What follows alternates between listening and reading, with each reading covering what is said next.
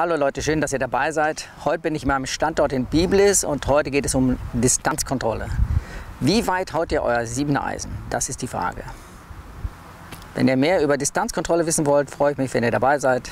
Bis gleich. Sicher habt ihr eine Zahl geantwortet auf meine Frage, wie weit ihr mit dem siebener Eisen schlagt.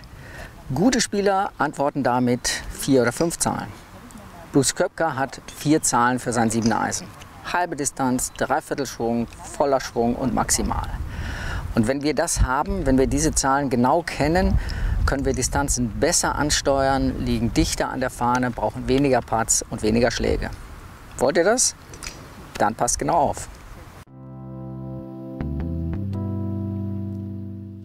So fangen wir einfach mal mit der Distanz an. Halber Rückschwung, Dreiviertel Durchschwung.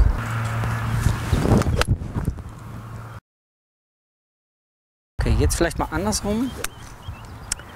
Dreiviertel Rückschwung, halber Durchschwung.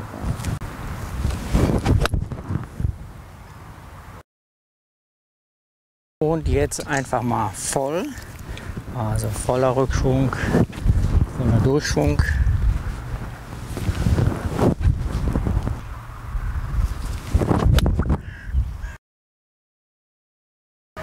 So denke ich, kann jeder zwei, drei, vier Entfernungen für einen Schläger herausfinden und so die Distanzen gezielter ansteuern. Es gibt immer Bewegungsabläufe, die einem mehr liegen.